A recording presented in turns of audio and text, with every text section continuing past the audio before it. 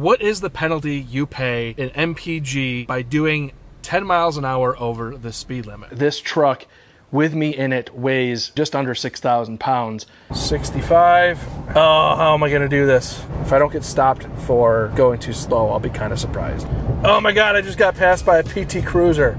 Ah. Before that, the only What was that, the cars? I thought it was a police officer.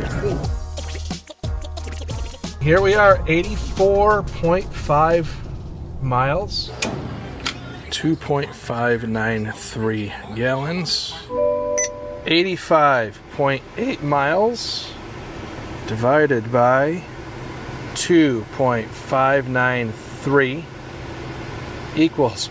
Holy I was not anticipating that. It's a 10 mpg difference in this truck to do 10 miles an hour over the speed limit.